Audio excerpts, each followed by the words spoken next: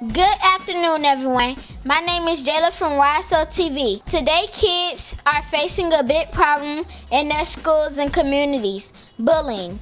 A group of students at Coleman Park Community Center would like to give you the facts about this growing problem. Where does bullying start? I think bullying starts at school. Say a kid's getting bullied and then he that that kid wants his anger gets another kid mad he wants to bully another kid. Thank you. Where does bullying happen? Bullying happens in the playground because people push people off the swings. They fight in the dirt and throw dirt in the face. They kick people off the slides. And that's it. Why do they do these things? Because they're bullies and they think they're popular, cool, and they got more swagger. Good afternoon, everybody. My name is Kobe from YSO TV. I'm here with Harry. I have a question for you, Harry. Do you know anyone who bullies and why? Yes, a boy used to come to Coleman Park. He would be like worst. He would call names, hit people, fighting every time. I think he did it because he wanted power. With technology becoming available to most kids, cyberbullying is becoming a big problem.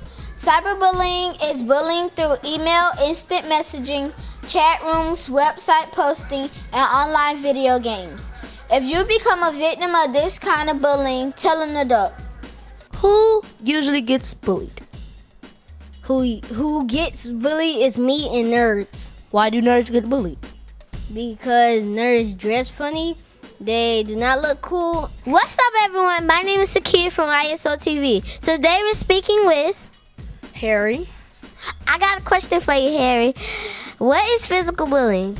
Physical bullying is hitting, slapping, kicking, or fighting, and is also physical contact. Hi, this is Malik from YSO TV. Today we are speaking with Tyrone. Tyrone, I got a question for you. Yes. Why do kids get bullied?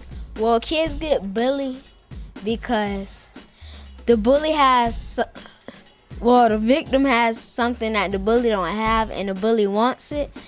So the bully is jealous, so a bully on that person. Is that all? Yes. Thanks, Tyrone. Once you can recognize the signs of bullying, it can help you avoid the problem. For more information, go to www.literacypbc.org. That's www.literacypbc.org. It's time to make a change and put a stop to bullying.